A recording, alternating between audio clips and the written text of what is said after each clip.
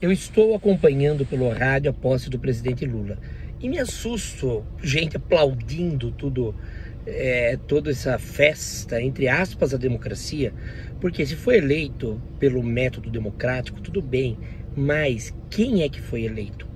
E digo isso com pesar. Eu não pago pau para político de direita, de esquerda, de qualquer espectro. Eu penso que precisamos de políticos honestos, competentes que tragam credibilidade. Dilma, Bolsonaro, Lula, ninguém desses preenche esses quesitos. A corrupção do Lula, que as novas gerações desconhecem e não viveram, foi a responsável por trazer Bolsonaro ao poder. A inabilidade, a truculência, a incompetência de Bolsonaro trouxe Lula de volta. Uma pena. Até mais.